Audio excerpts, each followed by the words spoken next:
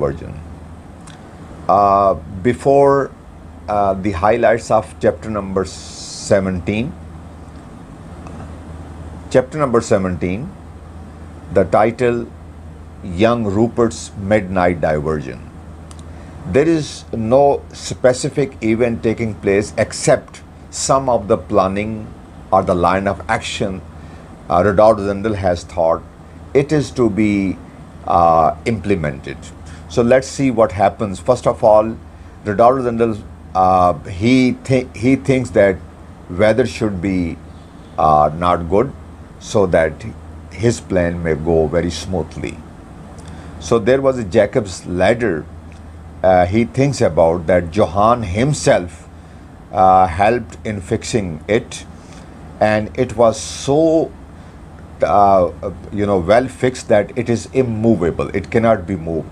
So it is important that within with the help of explosive, it should be uh, uh, you know destroyed or it could be displaced, but uh, it is not easy to destroy it. At 12 o'clock, Colonel Sapt is sent along with his men from the chateau of Tarlenheim to the castle of Zenda. And uh, reaching at uh, castle of Zenda, so they leave the horses half a mile away from the Zenda. And uh, they go on foot. Uh, Rudolf Rassendyll himself leaves for the castle, but there are some certain things that he has with him. A revolver, a sword, a large clock, a woolen jersey, a pair of knickerbockers, a thick uh, stocking, uh, light canvas shoes, oil, some oil, and a large flask of whiskey. So these are some of the most important things that he keeps with him. Then, in the same way, he, when he reaches at the forest, so about half past 12, so he tied his horse in a thick clump of trees. So keeping the revolver uh, uh, with him, so he goes. Then by the time the castle uh, clock, uh, when uh, it is quarter to one, in 15 minutes left to one, so he feels that he has uh, been under the water. So now he swims across and uh, pushing uh, because he has a ladder along with him, and uh, he is also hugging the uh, castle wall. I mean, touching with one hand the castle wall, and by this way he reaches at the Jacob's ladder side, uh, the old uh, chateau where the king is kept. Rudolf Rassendyll notices that the drawbridge is on, and then then uh, at the same time, Rudolf Rassendyll thinks that if Johann was true uh, about uh, the Duke's apartments, I mean, when he said in chapter number 14 that uh, left side was Duke apartment in the uh, in the center there was a hall and uh, then at the right side there was a room of uh, Lady de Mauban. So he thinks about that. But in the same time, the idea comes in, uh, in his mind and he's uh, worried about if uh, what happens if uh, Lady de Mauban, if she forgets and he believes that the women are uh, mostly they are very careless and they are very forgetful. So uh, then he says that if at two o'clock uh, she couldn't come and the door of the hall was not opened by Johann, it may be assumed or presumed that uh, he is dead. So, in that case, uh, it was said to Captain Fritz that tell Marshall go back to, um, I mean, along with uh, Princess Flavia to Strelsau. Suddenly, Rudolf Rassendyll notices that window of Duke Michael, uh, there was a light coming from. Suddenly, there was a light on.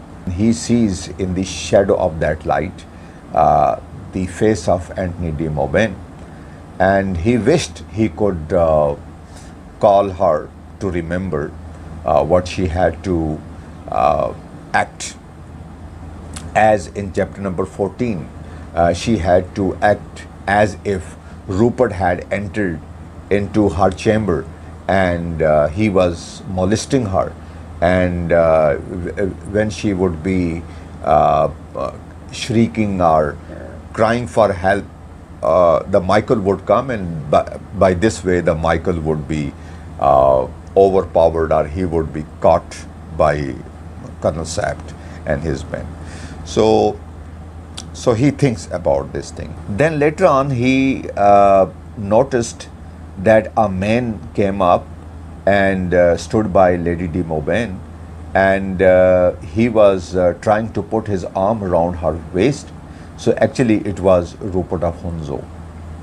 So what Rupert of Hentzau says to the lady, it looks cold. Come, uh, are you serious? And again, hang Black Michael. Isn't the princess enough for him? Is he to have everything? What the devil do you see in Black Michael? But uh, Mauban, she is not interested, and uh, she said, If I told him what you say, I mean, she is going to complain. Then, uh, I mean, he says, well, well, tell him. So it means that he is so bold and so daring that he doesn't uh, take care about uh, Michael. So then, after some time, Michael appears and he says, What are you doing here, sir? And uh, Rupert says, Apologizing for your absence, sir. Could I leave the lady alone? Then uh, later on, uh, it seems to be a bit argumentative uh, situation. And uh, Duke Michael, he says that the moat would hold more than the king. It means it is not only the king who will uh, be drowned in the moat, but there will there may be one more person. And Rupert thinks that uh, does your highness threaten me? It means is it a threat from you? So Michael says a threat is more warning than the most men get from me. I mean it is it is more than the threat that he was saying. He was he was warning. So whatever, there was an argument, a very serious argument, but in order to avoid the argument, uh, Duke Michael tries to diffuse uh, the situation because when he finds that uh, Rupert is uh, uh, uh, very bold and I mean he is not taking any effect of him, so he says to Rupert, enough, enough, we must not quarrel. And he sends back Rupert uh, to the other side, uh, to the king castle. So pray, sir, leave us. In 10 minutes, the drawbridge will be drawn back. I presume you have no wish to swim to your bed. So when he says that, uh, go back and uh, I think that you are not going to sleep to, I mean tonight, um, and and the the bridge is going to be uh, drawn. So then, uh, listening this, and he goes back uh, and he rejoins De Gautet. As soon as Rupert goes to the old castle, Rassendyll, uh, he notices that Rupert of Hentzau, after having drunk, uh, he takes the bottle from De Gautet and uh, he shoots. Uh, there are two shoot, uh, they are missed, and the third shoot shattered the bottle. And uh, I think this is how he was trying to express his uh, anger.